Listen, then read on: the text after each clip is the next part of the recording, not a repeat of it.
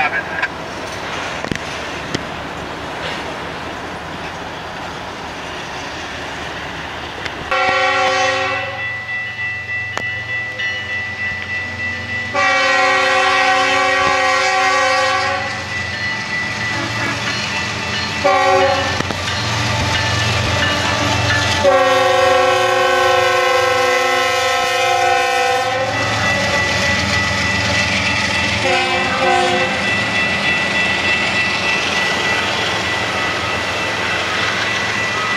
Crude oil. That's probably a 546 or a 547.